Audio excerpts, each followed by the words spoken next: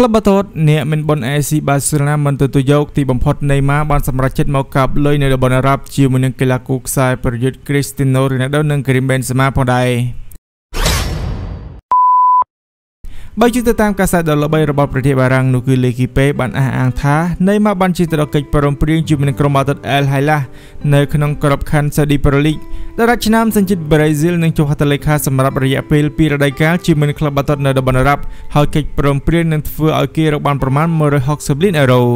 នៅទីបំផុតទំនាក់ទំនងរវាងកីឡាករខ្សែប្រយុទ្ធណេម៉ានិងក្លឹបបាល់ទាត់ប្រេសាំងសេម៉ាំងបានឈានដល់ទីបញ្ចប់ហើយខណៈដែលកីឡាករសញ្ជាតិប្រេស៊ីលនេះត្រូវបានគេរាយការណ៍ថាបានឈានដល់កិច្ចព្រមព្រៀងដើម្បីចែកចេញពីទីក្រុងប៉ារីសនៃប្រទេសបារាំងហើយចុះទៅលេខាជាមួយនឹងក្រុមបាល់ទាត់អែលហៃឡារបស់ប្រទេសអារ៉ាប៊ីសាអូឌីតជាមួយនឹងកុងត្រារយៈពេល2រដូវកាលបើជឿទៅតាមរបាយការណ៍ពីកាសែតលេគេពេកិច្ចព្រមព្រៀងនេះនឹងឃើញថាកីឡាករវ័យ31ឆ្នាំរកបានប្រាក់ប្រមាណ160លានអឺរ៉ូនៅអំឡុងពេលនោះ ទាំងគ្រូបង្វឹកលោក Luis Enrique និងនាយកផ្នែកកីឡាលោក Luis Campos បានប្រកាសរួចហើយទៅកាន់ខ្សែប្រយុទ្ធខាងលើនៅសប្តាហ៍នេះថាគេនឹងមិនបានលេងច្រើននោះទេប្រសិនបើបន្តនៅជាមួយនឹងក្លឹបសម្រាប់រដូវកាលថ្មី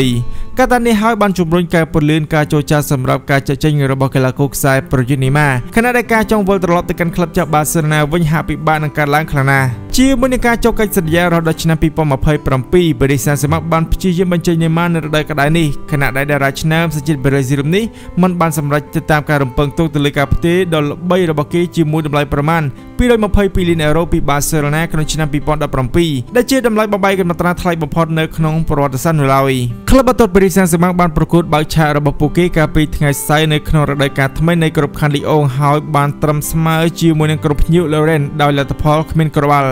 កីឡាករមួយអ្នកដំបូងរបស់ប៉ារីសសាំងសេម៉ាំងគឺគ្មានកំពូលខ្សែប្រយុទ្ធជួមុខទាំង3កាលពីរដូវកាលមុននោះទេ